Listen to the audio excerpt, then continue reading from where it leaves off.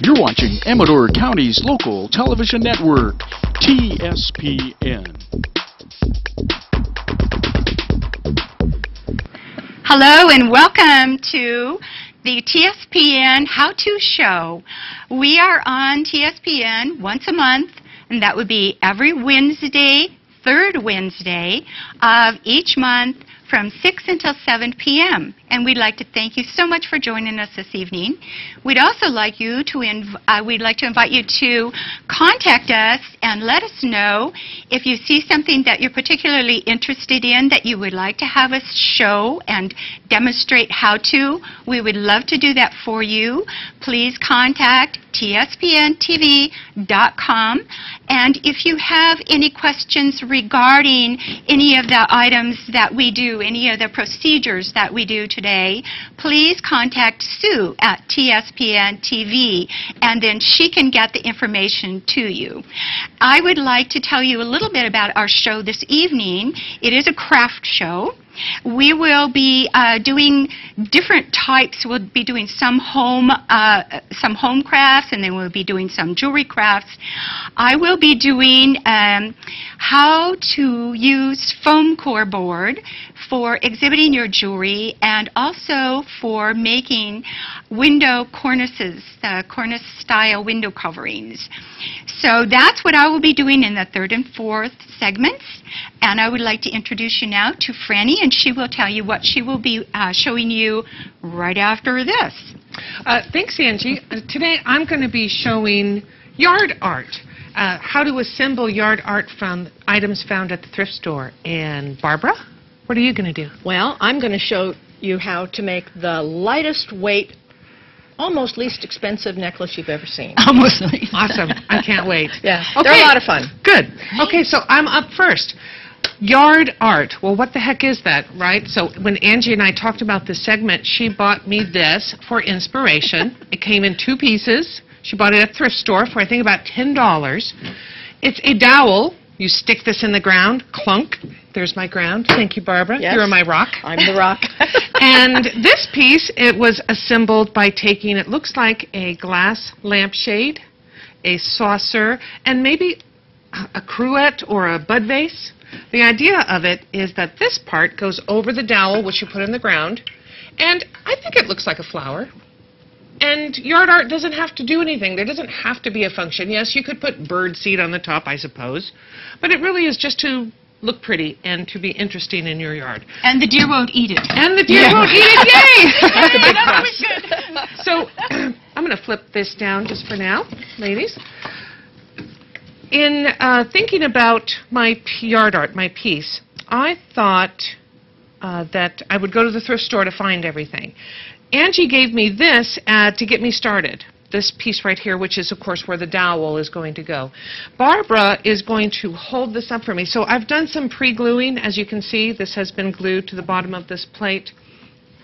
And Barbara is going to be my dowel, so to speak, and she's Right. going to hold it this way. Tell us We're about gonna- the glue. Okay, so the glue, haha.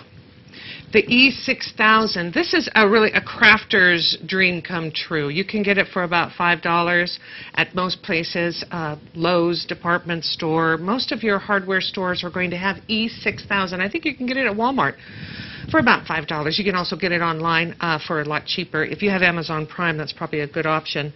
This really should set for 24 hours to be perfectly sure that the construction is really strong, but it's also very fast acting. So when you use it, uh, you may want to wear rubber gloves. I'm not going to do that today. I don't think I'll wear the gloves.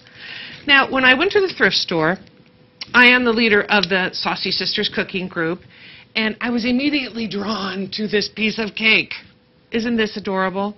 This, I Very think, was a salt and pepper shaker. It has little holes on the top, and it used to have some kind of a connection at the bottom. And so I knew that whatever my yard art was, it was going to have to end with this piece of cake up on the top.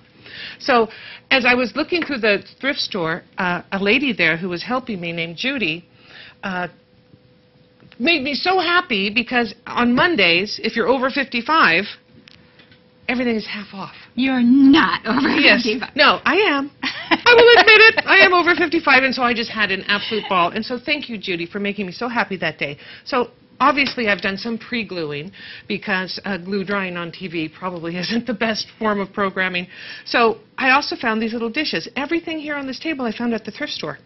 So once I saw the cake and I saw the teapot, the theme popped into my head of Mad Hatter's Happy Unbirthday Tea Party. So we're going to start by just putting a little bit of the E6000 on the bottom of this plate. Now to get all of these dishes really clean and ready to be glued, I used this product called Goo Gone. And it's just fantastic uh, for getting off those sticky price stickers. Oh, they never ever come off, and they just leave a gooey mess. Well, this really works well. It also takes off old bumper stickers really nicely. It's called Goo Gone. It's in a spray, and you can just wipe it off with a little wet towel, and it comes perfectly clean. So I'm going to do this kind of a little askew because it's this Mad Tea Party theme. So I'm just going to press it like that. I'm going to leave that there just for a minute. And while that's setting just for a second, I want to talk to you about the other project that I made. Anje, would you hold that up? This was an inspiration, a true inspiration from Judy, who works at the thrift store. She told me about the yard art that she makes at her beach home by collecting uh, by collecting driftwood, and she screws hers together. So, and she makes flowers, and people actually stop by her house and ask her if they're for sale. And she has her yard filled with these beautiful drift uh, wood flowers. So I decided I wanted to do a flower too. So when I saw this pink dish at the thrift store, I just knew that was my flower. And all of these pieces here I got at the thrift store. The only thing that I got at Lowe's was this actual wooden trellis. then I painted this center uh, wood right here with just some spray paint, painted it green to give you the illusion of a stem. Sorry, Barbara. That's okay. And these dish, these leaf-shaped dishes I got right at the thrift store. And this centerpiece was at the thrift store. And look at this. Doesn't that look just like the center of a flower? I just love it. My husband is a uh, wildflower photographer. That looks like a flower. And that it- looks like the center of a wildflower. And the nice thing about this, you can stick it into a pot, you can stick it right into the ground, and then of course the little butterfly dish was just the perfect ending to that. And I used E6000 on all of it. Uh, it it uh, attaches glass to glass, glass to wood, wood to leather, you, you, yeah, metal, anything. So this is really great stuff. So this probably is not set enough. If I was doing this at home slowly, I would make sure that each piece was completely set before adding. But we don't have that kind of time today, so we're going to get going. So once again, you can see I did some pre-gluing. I found these little dishes because in my head, I was thinking of this kind of teetering, towering stack of uh, Tea Party themed. Fun. It is reminiscent of Alice in Wonderland kind of tea party stuff. This is such a cute little whimsical teapot with the little flowers on it, Mhm. and the little chicky birds. I was amazed at how quickly everything came together at the thrift store. And, you know, I just went to the Great Finds thrift store, which is down on Sutter Hill. And people, it's amazing how many people don't know where Sutter Hill is. It's by the taco truck. Okay? All right. Now, I'm just going to hold this because it may not like it over there. It'll this love is it. this is just adding to the theme of kind of a little off off center, a little bit off center, like like me. I'm hoping this won't break on TV. Here we go. Ah! This is very exciting. I also found this little spoon, which I think is cute, and I'm not sure. I think that I would just have it maybe sitting out. What do you think, Anje? Up like this, or just sitting on I the think plate? just down Maybe just and, sitting like that. and not glue it, maybe. Maybe not even glue it this time. We'll see. Then my last. Oh my gosh, my cake. The beginning of the whole thing, the piece of cake. This is what inspired the entire episode. So I had never done yard art before, and I was just amazed at how incredibly easy it was, and really how much fun. Like I said when I was talking to Judy at the thrift store, we had the whole shop excited about my project, and people were pulling out all kinds of things and giving me great ideas. I didn't have, you know, the budget to try to do everything, uh, but I, I wanted to do two. So it was it's really been fun to do. And that's it. I just put a little bit of glue there. I'm just going to put the cap on so that it doesn't kind of run everywhere. And then when you're working, always have a little damp paper towel with you so that you can wipe up little messes. You can see we have it on some plastic today. It is it can be a bit of a, a messy project.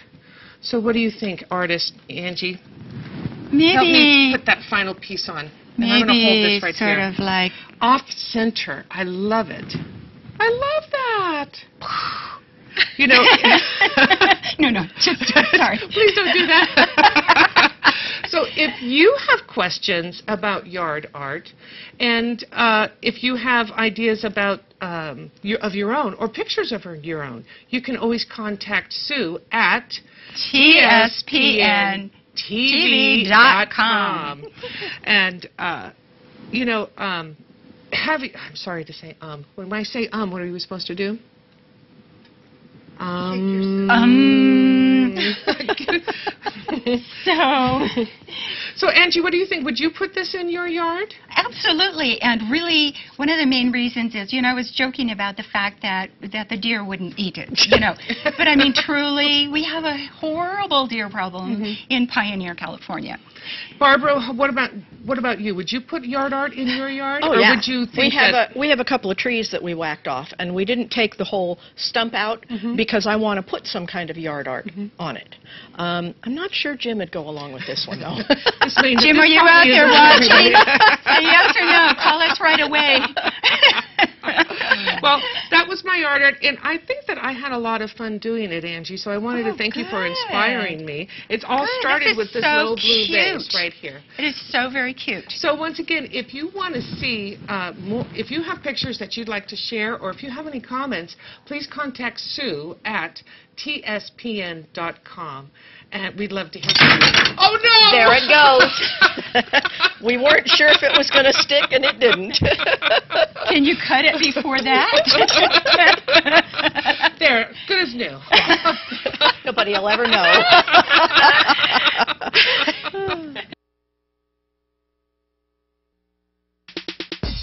You're watching Amador County's local television network, TSPN.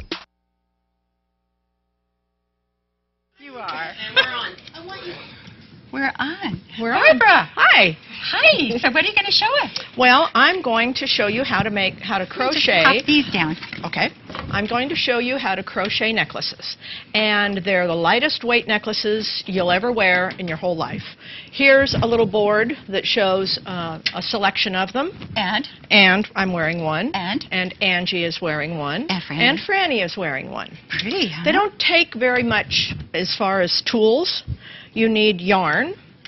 Um, I have I brought three different kinds of yarn here, and I'll talk a little bit more about those as I get into it. You need a ruler. Doesn't make any difference what kind of a ruler you have. Um, it can be this ruler that I have because I'm a quilter, or it can be one of the old-fashioned wooden rulers like you used in school. It could The even ones that be you got hit with, Anje. yeah. How did you know It could even be a tape measure, you know, any kind of a ruler. And you need a crochet hook. I brought four different sizes with me. There's no particular size that you need to use, but um, the heavier your yarn is, the bigger the crochet hook you need. Um, as far as what kind of yarn, looking at these different uh, necklaces that I brought along, this particular necklace was made out of this yarn. And this yarn is kind of thin and ribbony like, and it crochets up to be that necklace right there. So which which did you use to? Which crochet hook, you know, I don't remember. I think I might have used the pink one. But what you do is you just play with, uh, crochet it a little bit and see how it looks. I'll show you actually how we crochet it in a couple of minutes. Can I ask you something before I forget? Absolutely. Where do you get like the pattern to do this? Do you, how do you know how to do this? That's what I'm going to show you. Oh. There is no pattern. It's just word of mouth. Oh, I like that. It's like a friendship. It's like a friendship kind Yeah. of thing. Nice. This is the softest little yarn you've seen in a long soft. Time. It's baby soft. It's Wow. chenille yarn. And that yarn works up to make a necklace like this. How pretty is that?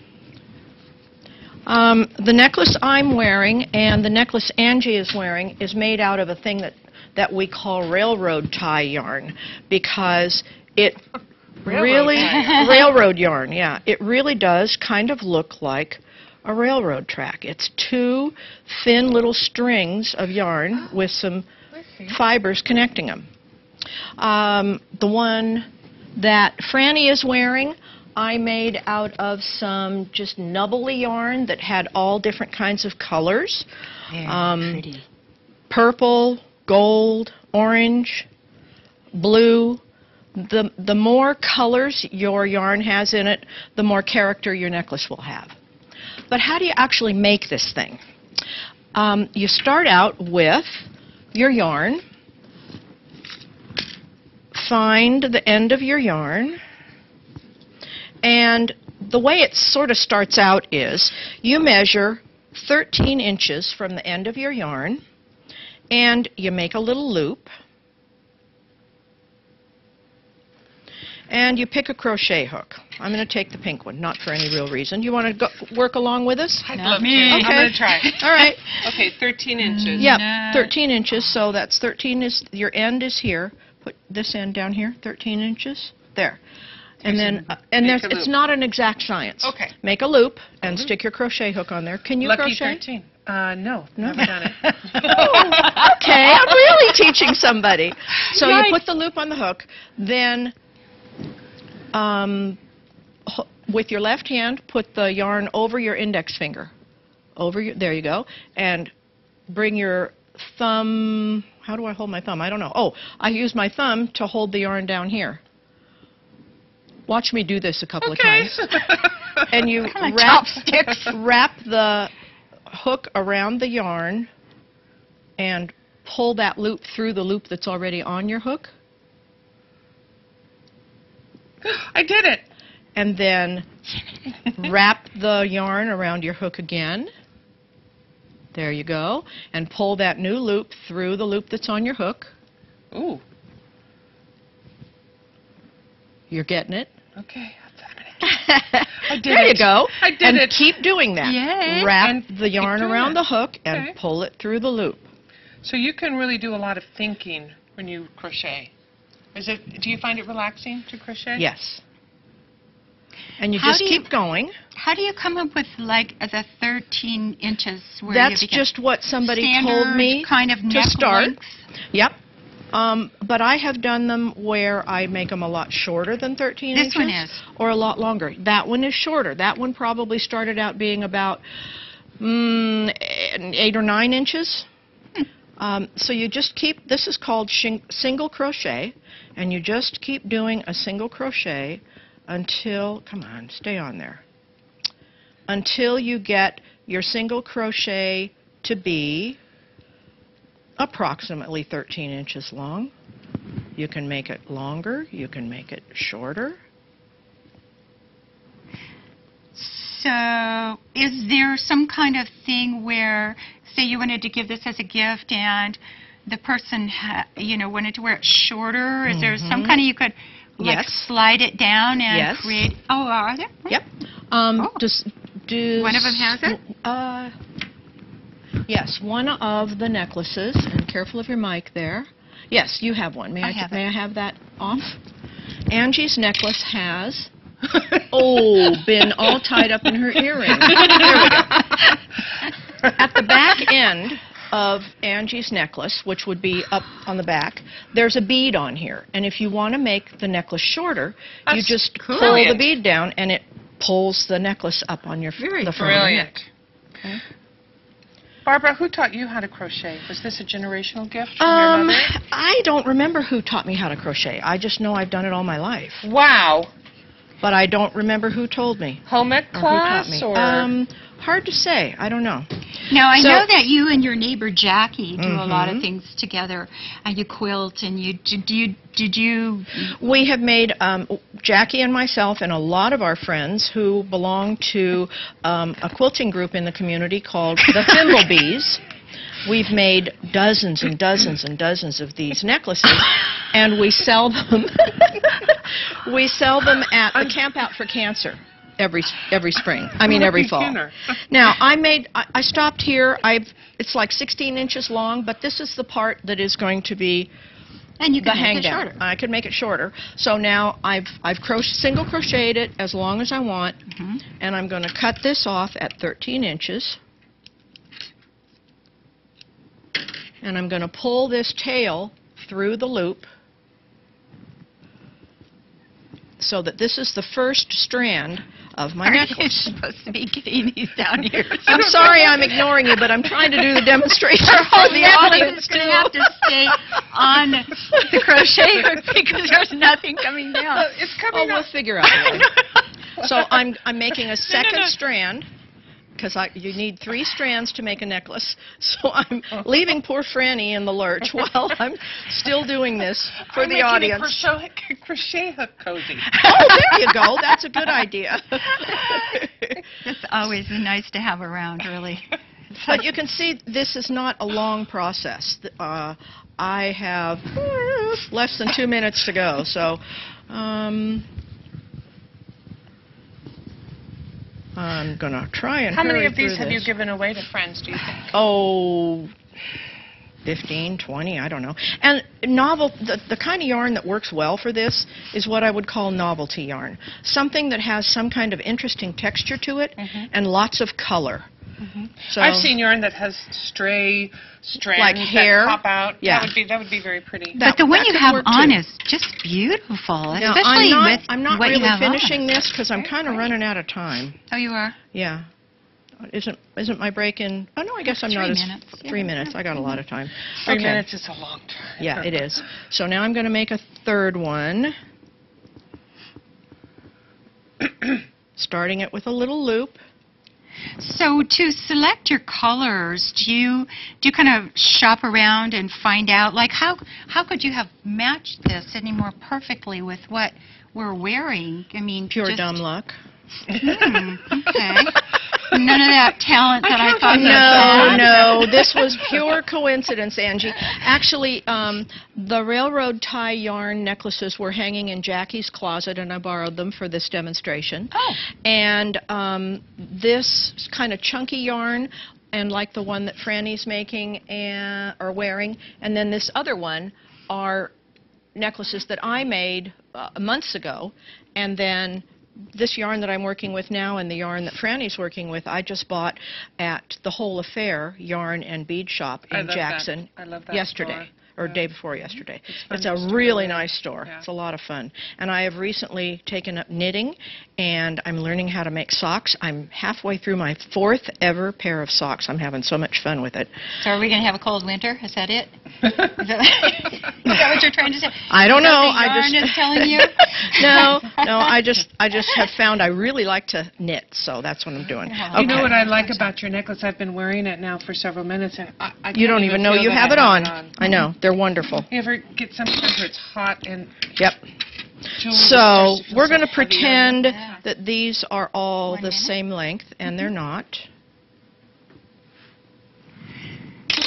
So you take your three st- strands that you've crocheted, you pull all of their little crochet ends together, tie them in a knot, and you take the other three ends, pull the three ends together. This isn't going to come out very good because I'm Russian, but you get the point. Then you tie all these three together in the back. Voila, that was And very voila. quick. You have a necklace. Very quick. okay, we'll be right back, and we will talk about uh, foam core. You're watching Amador County's local television network, TSPN. Hi, I'm Anje, and I'm going to show you how to make a cornice-style window covering for any room in your house. I would like to show you what I have in my house, which is what kind of inspired me to do this. Um, this is one of three pieces that I have in my living room. I chose this because my walls are white and the three windows that I have are such beautiful view windows that I didn't really want to take away from the view by having colors or patterns there. Hmm. So anyway, this this is a moire fabric. It looks like water and it's supposed to to imitate m- the moray eel swimming through the water or whatever. Anyway, it's French. and so, you know, you can see that I, I didn't want to have it be very, very plain, so I added these little reflective mirror birds. And so in my house, I have three of these this is a one end. This is the end to your left. Um, and it has a little delineator.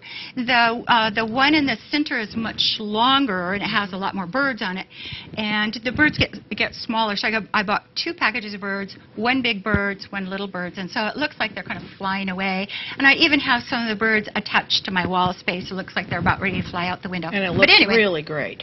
big. um, so it doesn't take away from the scene. Anyway, uh, so I am going to be showing you how I made these. I made them with foam core, and foam core is a piece of foam which has, so it has a center of foam, it has a side of paper, and another side of paper. The standard size for these foam core boards are 20 by 30. So you can have a bigger window than 20 by 30. Yeah, right. so, so if you do, then your measurement would be an addition, oops, an addition that you would simply tape together, tape together um, with packing tape. Oh, is that all? hmm Because when we are finished, you will see that the batting that we're going to put on and the fabric that we're going to put on holds it taut. So it doesn't matter how many pieces you have taped together. You can have a, a um, cornice board that is 60 feet long. Because when you said you tape them together, I was thinking, well, they're going to flop all over the place. No, because the Oh. fabric holds them in place. Very good. hmm So I am going to show you uh, what we're going to do today is a, a window. So I am saying that the, the window is, the actual window size is 26 inches wide. That's one of our small windows downstairs. Okay, so all you really have to measure is what is the full width of the window itself. And then to that, you will add two inches on either side. Just as any window covering, you would add two inches on either side so that you have enough to keep the light out and cover the window completely. So, the piece of foam core board would be 26 inches plus 2 inches on either side, so that makes it 30 inches wide, which, voila, happens to be exactly the size of the foam core board. Awesome. Ironic, isn't it? what a coincidence. I love it when it comes together. and the standard, um, the standard length of a cornice on, on any size window is the least that you can make it is 14 inches, Oh, really? just to balance the window well. You don't want a little, little teeny cornice, and you don't want a gigantic cornice. Uh, and also, if you get any any any uh, uh, longer than 14 inches, you have a kind of a difficult time actually getting your hand up in inside of it to attach it to the wall. You know, Oh. so you so That's a rather practical. you know, Reason for keeping it yes, short. Yes. So, um, so I have done this kind of little uh, diagram on of how many pieces that you actually need to make this cornice. So one is you need a piece that is 30 inches wide by 14 inches long, and that's the standard size of a cornice. And then you're going to need a piece that will be the top me to hold that? the top of the cornice. So uh, you will need a piece.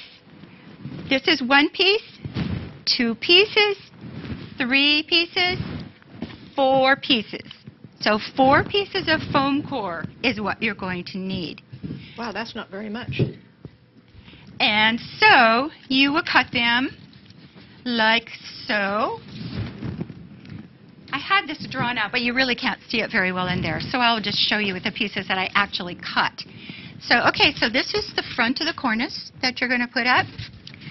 This is the top of the cornice that you're going to put up. It's the four inches deep that go back to the wall space. And then this is a side and this is a side. So we're actually going to just tape these with packing tape. Brilliant.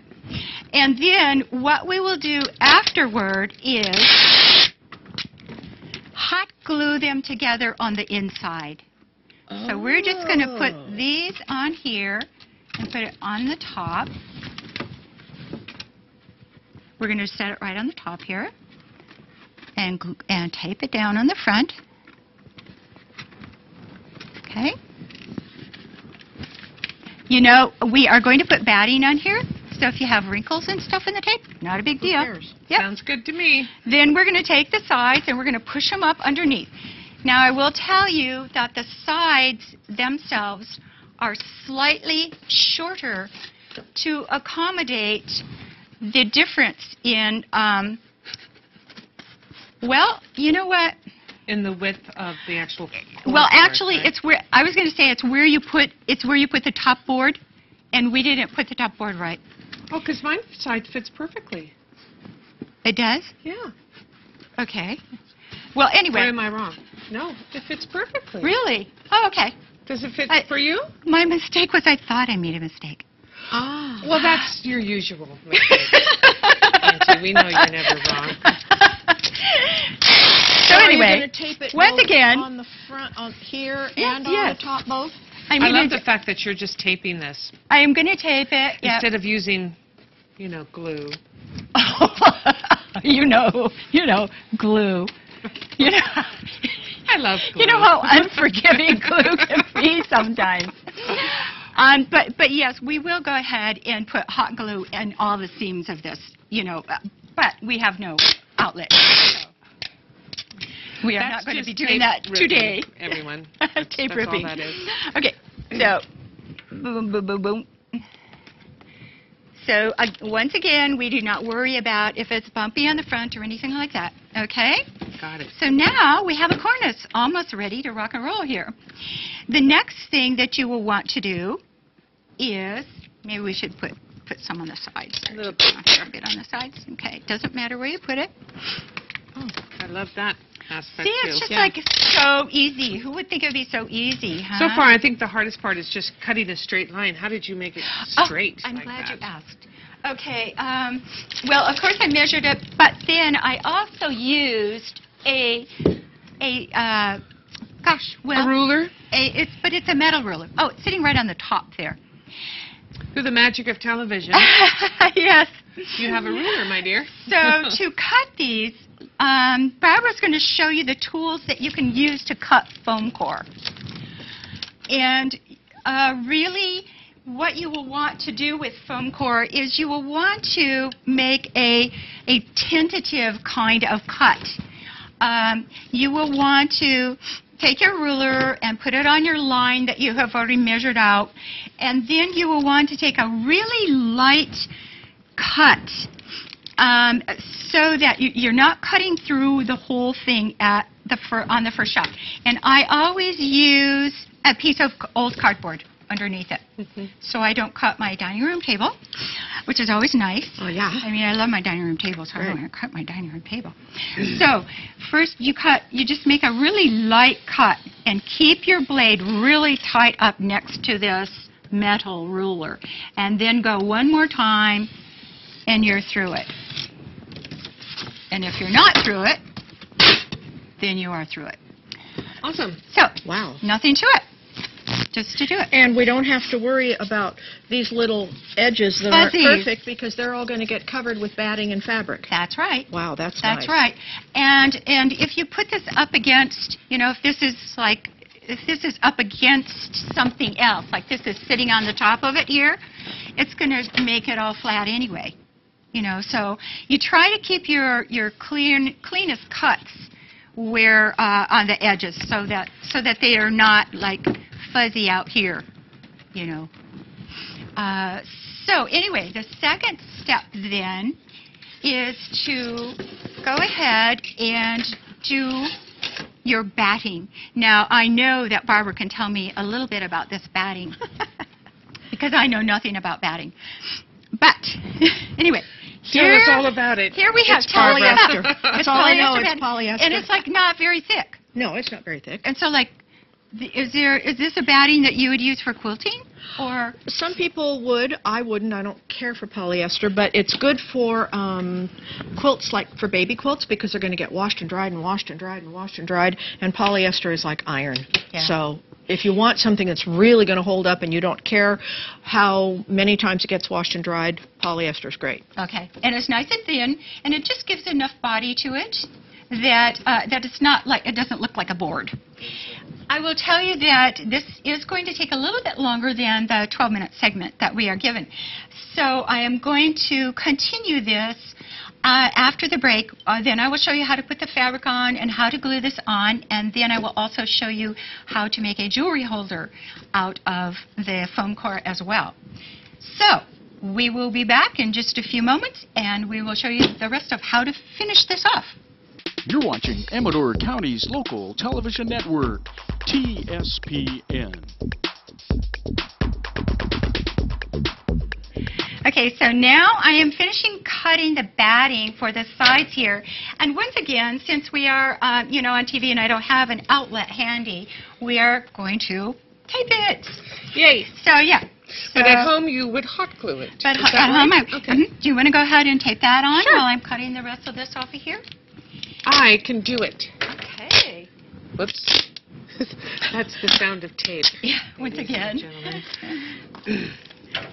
gentlemen. And uh, if you cut if you cut these pieces a little too off or small or whatever, it doesn't really matter because batting sort of stretches about, and so it doesn't it it holds well. And So- it's going to be covered up by fabric and it's going to be covered up by fabric. Yeah. Do you want one long piece or two short pieces for your Would you end, like another piece there? Here you go. Anje? Oh. One, one long? or- Sure. Done.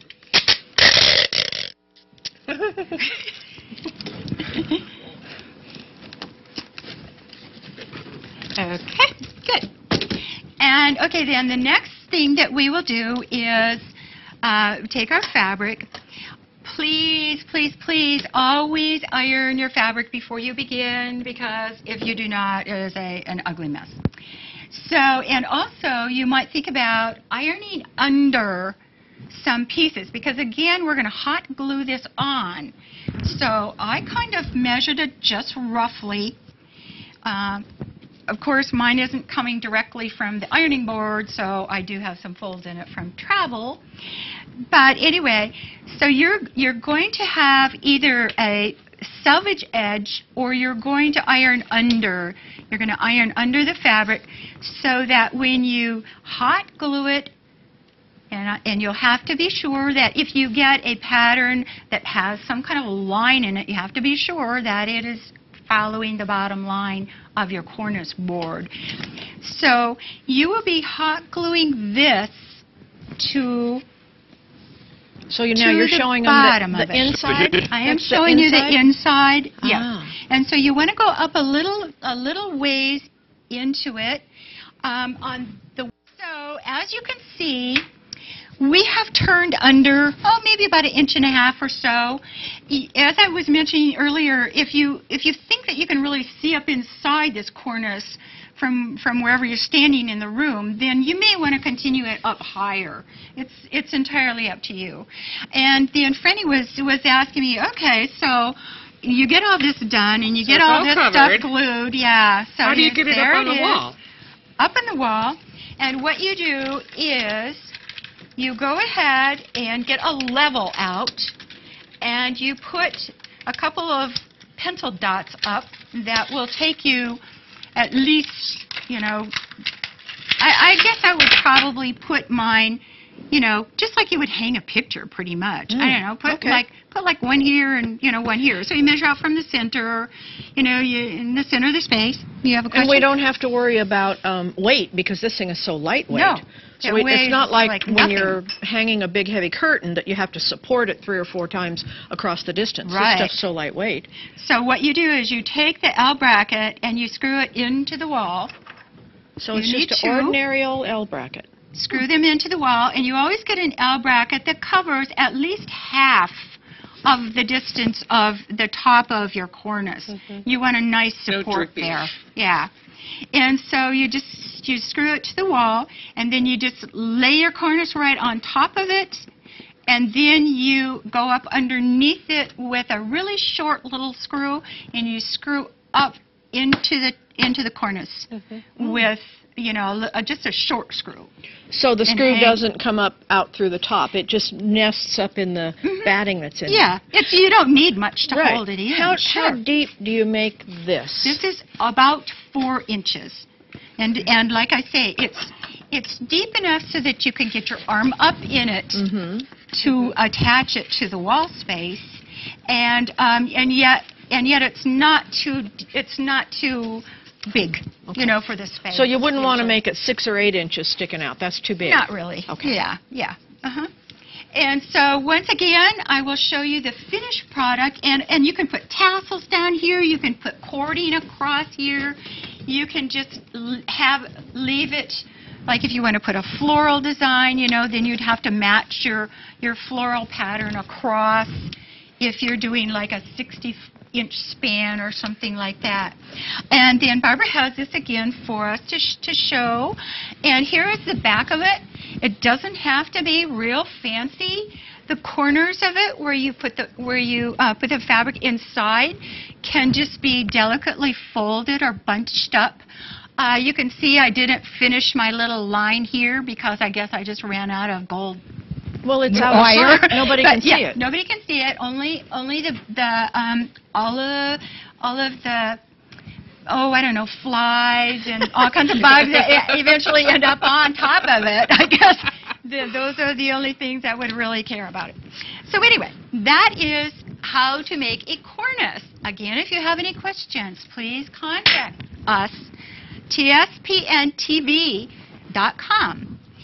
Uh, also, if you have any ideas for other window coverings that we would like to see where you use foam core, that would be excellent. Now we'd like to show you what you can do with foam core besides this. And that is something that I had made and given to Barbara some time ago. And it is a picture frame that has foam core in it. And it is just regular white foam core. And Frannie, could you grab me those two pieces over there on the Yes, top? The, yeah, those two pieces and the and the box, the box. Mhm. And I want to tell you that you can make jewelry holders from anything. You can make them from uh, from picture frames. And this is this is just a little picture frame that had some old photos of family, blah blah blah, in it. And so I just took took them out and threw them in a drawer. and um, and then I decided to do something for myself. so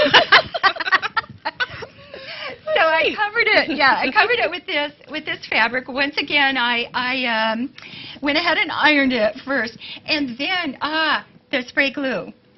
Uh, I if you use spray glue on a fabric, then you can then you can kind of press it into the foam core, and it and it's really nice and tight then. You It know, doesn't- it, it won't droop or anything. It won't droop or Right, anything. No. And then and then I covered this mirror up. You know, I, I put a mirror on it so that you can actually hang jewelry on it. Um, I'm going to borrow one of your pins Sure. here that doesn't have anything on it. Oh, even if it does, just let it fall down. Um, anyway, so right through this foam core with fabric, then you would hang, you would hang your uh, your daily jewelry that you that you always wear, and it, and it just hangs from here, and then you can um, check yourself out in this little mirror.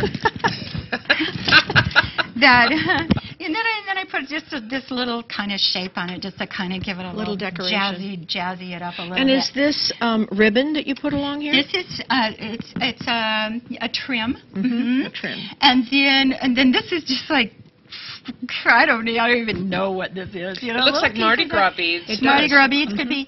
And then these were earrings. I cut off the back of those.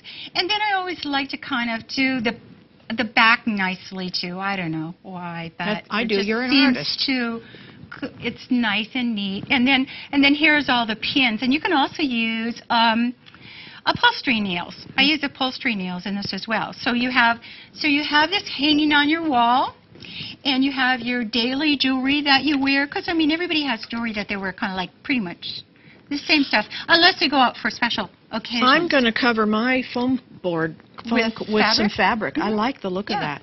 And then you can put a little mirror on it. Um, and then you can um, give these as gifts. Uh, people really love these gifts because it's kind of a, it's kind of an unusual thing to have a jewelry hanger.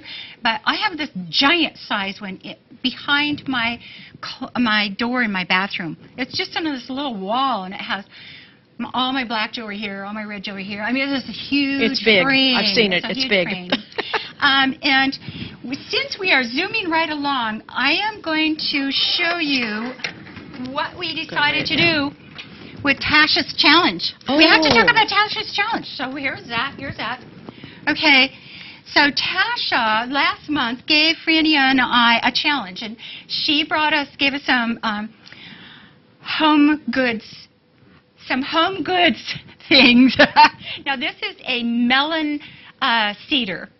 This is the little round shape here, and then Frannie Frannie used one, and this this can be either a skewer to skewer for barbecue vegetables or little pieces of meat or whatever. And so I decided to attach mine together and use it as a business card holder. And this is also foam core down here, so you can use foam core in just myriad ways. Anje, yours is priceless, just adorable. I used, I didn't even really work on mine. I stuck a seed packet in here. You can stick it in the ground, and when your seeds Your come up, you know what your. That's right, it's your row marker. Great, I love simple. it. I mean, just because it's it's a easier presentation doesn't mean it has less value. I mean, Right, I- if. I had a garden, I would have that in my garden. I'll trade so, so our next next month's challenge for all of our viewers is this. How are we going to use this insulating tape? This is for Hmm. um, pipes in the wintertime to prevent them from freezing. Hmm. And so it's self-adhesive on one side, and then also it's this beautiful, um, shiny kind of silver stuff on the other side. So we need to find out, and if you have any ideas, What are we send them gonna do to with that? Spacesuit. bicycle. You know, you mentioned bicycle. You could put you could put it all over your bike. Anyway, June Jetsons. bye now, and thank Bye, you for everybody. watching us tonight. Bye.